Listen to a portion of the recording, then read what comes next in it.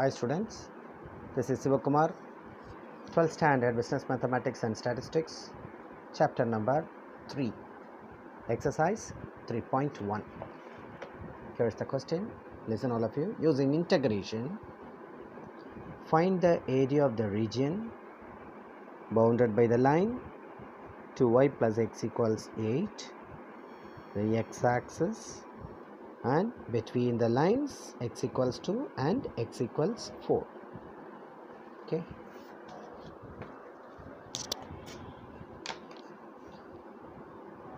Solution. Take 2y plus x that is equal to 8 since you are given x limits find y from this equation. Because for x-axis you have to apply the formula integral a to b either y dx or minus y dx. So we need y. So that I am retaining 2y in the left hand side. 8 plus x comes right hand side minus x. So therefore y equals 8 minus x by 2 let it be. Now we have to trace a curve actually it's a straight line only. X y.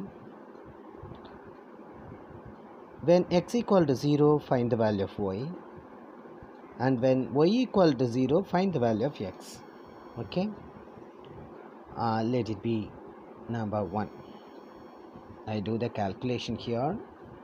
I am going to substitute x equal to 0 when x equal to 0 equation 1 implies y equals 8 minus x value 0 by 2 that is equal to 8 minus 0 8 by 2 that is equal to 4 so when x equal to 0 y value 4 can replace 4 over here. Now substitute y equal to 0 find the value of x. When y equal to 0 same equation 1 implies substitute y equal to 0 0 equals 8 minus x by 2 cross multiply 2 into 0 0 that is equal to 8 minus x which implies minus x comes left hand side plus x 8 let it be in the right hand side. So x that is equal to 8 these two points to be plotted so points to be plotted or plotting points?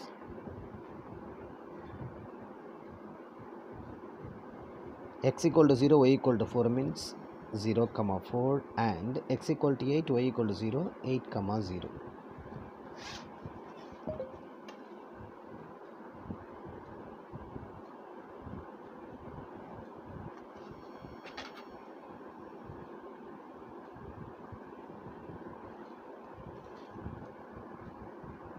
x axis y axis 0 comma 4 8 comma 0 okay. I take a 4 over here 8 over here. 4 in y axis 8 in x axis so this is the point 0 comma 4 you know how to plot the points. 0 comma 4 lies on which axis? Y axis 8 comma 0 lies on x axis join both the points. We'll be getting a straight line.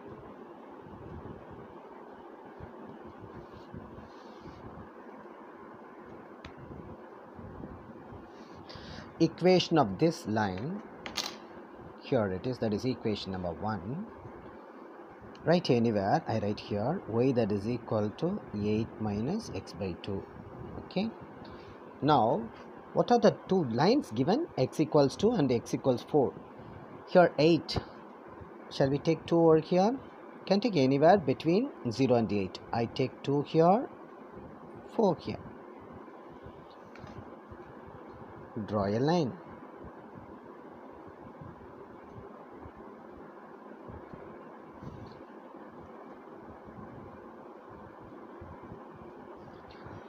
this line is passing through which axis? X axis. What's the value here? 2 that is the equation of line. X equals 2 is the equation of line. Like that. What's the equation of line? X equals 4 that is given.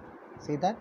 X equals 2 and x equal to 4 now we have to find out the closed region. Here is the closed region correct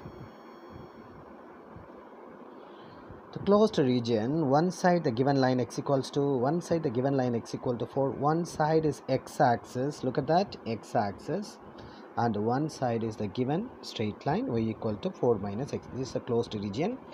This region is completely lying above x axis. So above x axis you know the formula already i have given. Area or required area that's a shaded region only integral a to b y dx. You just mention the shaded region is lying above x axis. A is the lower limit and b is the upper limit. So in this region what's the lower value? 2 and upper value is 4 2 to 4 y equation number 1 y equals 8 minus x by 2 I write 8 minus x by 2 by 2 can we write half? Outside the integral same only. Half into 8 minus x and 8 minus x by 2 are same only. Into dx. Write off as it is. 8 dx you can directly integrate 8 dx. Write the constant 8 as it is so only dx dx integration is x. You know that? Already have learnt in the previous chapter minus here x x power 1 isn't it? We know the formula for x power n x power n dx that is equal to x power n plus 1 divided by n plus 1 so this is x power 1 so can be x power 1 plus 1 divided by 1 plus 1 according to this formula. Limit 2 to 4 half. 8x x squared by 2 limit 2 to 4 half right as it is. Now I am going to apply the upper limit replace x by 4 8 into 4 minus replace x by 4 4 squared by 2 upper limit over minus. Now replace x by 2 8 into 2 minus 2 squared by 2 equals half 8 fours are 32 4 squared 16 by 2 minus 8 twos are 16 2 squared 4 by 2 2 table 2 times 2 table 8 times. Half 32 minus 8 minus 16 minus 2 equals half. 32 minus 8 that is equal to 24 16 minus 2 that is equal to 14 equals half into 24 minus 14 is 10 divide by 2 table 5 5 ones are 5 area unit always square units. So you have to mention square unit 5 square units. That's the problem. Problem number 1 is over. I hope that you have understood this problem so i'll be teaching problem number 2 in the next video. Thank you children